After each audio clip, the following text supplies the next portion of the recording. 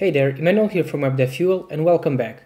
In this video, we're going to go over how to build a component using Go, Templ and Alpine.js. If you want to see the final result, I'm going to leave a link in the description down below to the code repo and you can also use that code repo to see how to set up this tech stack from scratch, again with Go, Templ, Tailwind CSS and Alpine.js. With this said, let's build the drop-down component. First of all, we want to create a new directory inside the template directory that we'll call component. And inside this directory, we want to create a new file that we'll call dropdown.templ. And let's open this file and let's first of all specify the package name, which is going to be component. And now let's see how we can build the drop-down component since this is going to include two different components. The drop-down component itself, which will include the trigger and then the wrapper around all of the items and then we'll have a separate component to specify each one of the items that we want inside of the dropdown.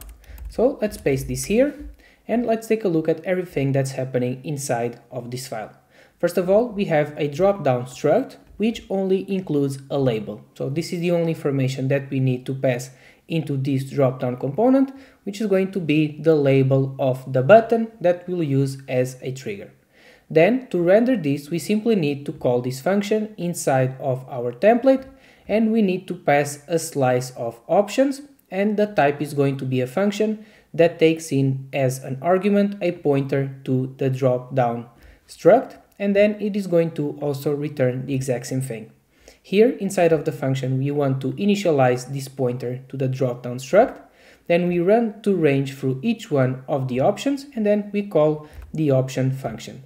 And since we pass here the pointer to the dropdown, this function can then modify the values of the struct or actually the fields of the struct and we then are going to be able to return the dropdown here with all of its information. Then we want to specify all of the functions that are going to be used to modify the behavior of the dropdown.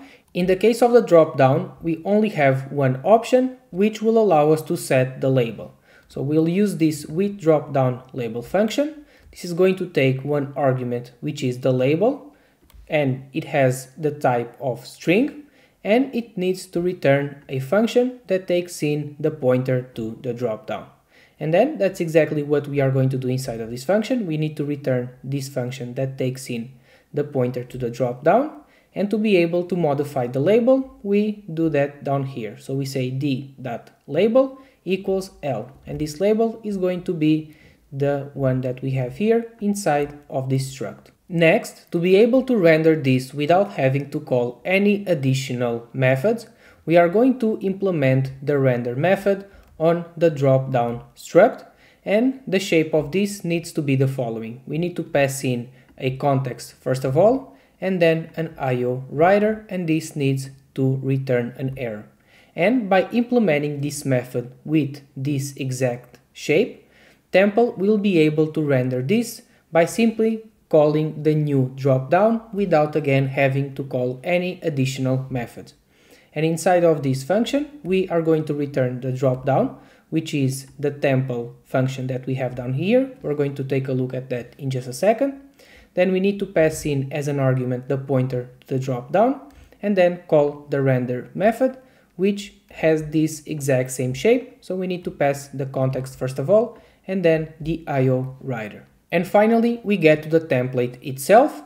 So this is going to return a div Inside this div, we are going to have the trigger button, and then we are going to have the wrapper around all of our items. We're going to skip over the CSS stuff because that's not the focus of this video, but we essentially have here a button and then a box that is going to be centered below our trigger button. If you want to learn more about how to build web applications with HTMX, Go and PostgreSQL, then go to webdevfuel.com forward slash HGSB or click the link in the description down below to join the HTMX Go SaaS blueprint. Now let's take a look at how we can use this component inside of a different templ template.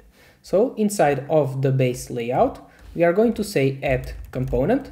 Then let's ensure that we import this correctly. And then we can simply call the new dropdown function and this is going to render correctly again because this implements the render method with the correct shape. So now let's save this and let's navigate to the browser and see exactly how this looks. So as you can see, we have here the shape of our button and then we have here the wrapper where all of the items are going to be displayed. So we are missing here the drop down label. So we want to, inside of this, pass in an option. So we are going to say component that with drop down label and we are going to call this one open. So now after we save this and we navigate back to the browser, let's refresh and now we see the label correctly displayed of this trigger button. Now keep in mind that we still haven't implemented the Alpine.js logic, so we still see this box by default, which is not hidden, and we still don't have the toggle functionality. That's exactly what we are going to do right now. Let's navigate back the drop-down template, and here we want to add the following stuff. First of all, we want to add here the data, or the state of this element, and here we need to type x-data, and then inside of quotes we want to pass in a JavaScript object and we want to say that open is false by default. So when we navigate initially to this page, we want this drop down to be hidden and only when we click on the button it is going to be displayed. And now let's add two different attributes to the button element to ensure that when we click on it, it opens the drop down and when we click outside of it, it closes the drop down. So first of all, we want to say here at click, and then we want to say that when we click on this button, we want the open state to be the opposite of what it currently is. This means that it is going to toggle the drop down when we click on this button. And then when we click on the outside, we want the open state to equal false. And finally, we want to add the correct attributes to this div element to ensure that it hides and shows according to our open state. So first of all, we want to say x-show, and this needs to be open. So essentially, Alpine.js is going to look for this value that we have here, and if it is true, then it is going to show this element, and if not, it is going to hide it. And then we also want to add the following attribute, which is x-cloak, and if we take a look at our app.css file, this essentially means that we want to have this display none show inside of the browser by default so that this doesn't flash the drop down inside of the browser when we initially render it. Now let's close this and let's save the file. And if we now navigate back to our browser, as you'll be able to see by default, this is now hidden. And if you click on this, it now displays our list of items, or in this case, the wrapper around what is going to be the list of items. And if we click outside this button, it is going to hide this box and it is also going to toggle when we click on this open button again because we have this opposite of open so it is going to toggle between both of these states and we still got one thing left to do before we can move on to the drop down item component and that is to ensure that we have a nice animation when this drop down shows. So let's paste the following attributes and here we have the following. We have this x dash transition and this is essentially an attribute that Alpine.js provides us with to help us define our behavior when it comes to the transition or the animations. So we specify here first of all the enter and then we also have this leave and both of these classes are only going to be included on this element when the transition is occurring. So before we uh, actually start a transition and after the transition is over, these classes are not going to be included. We only want to add here classes that are important for us to specify, in this case to Tailwind CSS, what the transition behavior is going to be. In this case, we want to specify here transition, then we want to say that this is going to be ease-out, and then the duration of this transition. Then we have the start, so this is essentially where we want to go from, so the class that we initially start at, and these are going to be opacity 0 and minus translate y2. So this is going to go from the bottom to the top. And then we have the enter end. So this is the final state of this transition, which is going to be opacity 100. So we want to go from not seeing this drop down to seeing it. And then we want the translate, uh, translate y to be 0. And then we do the exact same thing for the leaf. So we have these exact same classes. So we have transition. In this case, we have ease-in, and then we have duration 100. And we start at the opacity of 100 and translate y 0. And then the final state of this when it leaves, so when it hides from the DOM, is going to be opacity 0 and then minus translate y2. Now let's save this file and let's take a look at how this animation looks inside of the browser. So if you refresh the page and we now open this, as you can see, this now has a nice animation when we either open the drop down or we close it. Now let's move on to the drop down item component. So we're going to paste all of this code and now let's take a look at everything that's happening here. First of all, we want to specify here an int type that is going to be called dropdown item as and we'll be using this to let our component know if we want to render this as a button or a hyperlink. So usually when we have a drop down with multiple items, those items can either be buttons or hyperlinks and we want to take that into account inside of our code. And again, we have these constants that we define. First of all, we have drop down item as button this needs to specify here the type and then we say here equals iota, which means that this is going to be zero. And then we have the following one that is going to be drop down item as hyperlink. Next, we have the type drop down item, which is a struct. This includes first here the as state or the as field that we want to keep track of. And then Using templ, we can also have multiple attributes that we can pass into this component. Then, to render this component, we do the exact same thing as with the previous one. So we say new drop-down item, we pass here a slice of options and it returns the pointer to the drop-down item. Then we initialize the drop-down item struct and we pass the default attributes, which is going to be empty by default.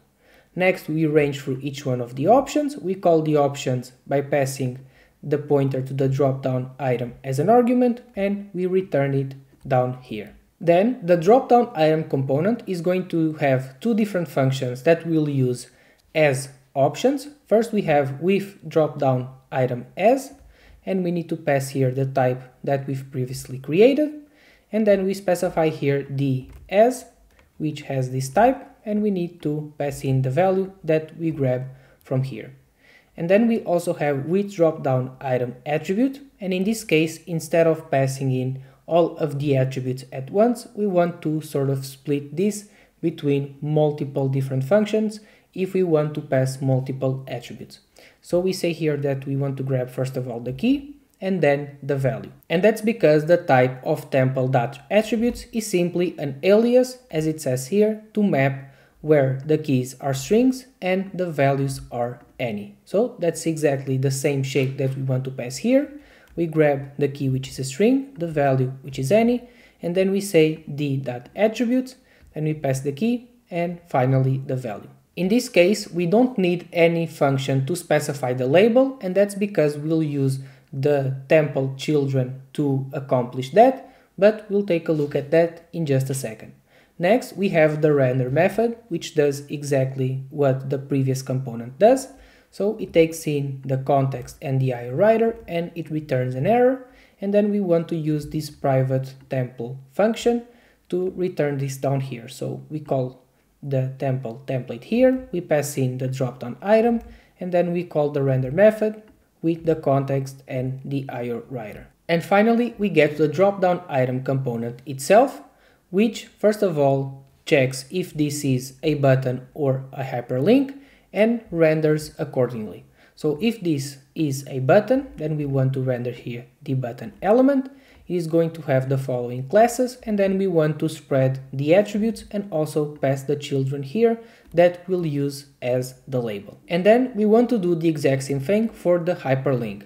If this is an hyperlink, we want to render the following element with the exact same classes and then we also want to spread the attributes and pass the children, which we'll use as the label. If you want to learn more about how to build web applications with HTMX, Go, and PostgreSQL, then go to webdevfuel.com forward slash HGSB or click the link in the description down below to join the HTMX Go SaaS blueprint. And now to use the drop-down item component, we simply need to pass them in as children inside of the drop-down component. So here we want to call add component that new drop-down item. And then to specify the label, we also pass this as children. So we say here item one, and then let's specify here multiple items. So we also want to have item two and finally item three. So now let's save this and let's navigate back to the browser. So now if we refresh this and we click here, as you can see, we have a list of items. So we have item 1, 2, and 3 here inside of the dropdown. Now let's modify the behavior of two of these items. First of all, we want to add here an attribute that console logs a message each time that we click on it, because keep in mind this by default is going to be a button. So if we say here component with drop down item attribute, we can say here on click, and then we can say that on click we want to console log clicked. And now if we save this and we navigate here back to our browser, let's open here the console and let's ensure that this works correctly. So we need to add here a comma at the end. Now let's save this and let's confirm that all of this works correctly. So now if we click here and we click on item 1, this is going to close the drop down because we are clicking something outside of this trigger button and it is going to console log this message here for us. And now let's also try to make this one be a hyperlink. So to accomplish this, we want to say component that with drop down item s and we want to say here component drop down item as hyperlink. And then we also want to add here an attribute. So we are going to say here with drop down item attribute. And we want to say that the link is going to be clicked or in this case forward slash click now this route doesn't exist so we are going to see an error but that doesn't really matter. So let's refresh this page here now and if we now click on the item 2, as you can see at the bottom left corner, it is very small. You probably can't see it, but it says there forward slash clicked. And if you click here, we now are taken to this route. And we see here the 404 page not found. And this means that the drop down now works correctly. So we not only have the ability to now reuse this across an entire project, but we also have the ability to modify the behavior of each one of the drop-down items. So we can add additional attributes to each one of these. We can modify the behavior even further by modifying the drop-down um, templ file. So this makes our job much, much easier when building UIs using Go, Templ, and Alpine.js. So with this being said, I hope this video was helpful to you and I'll see you on the next one.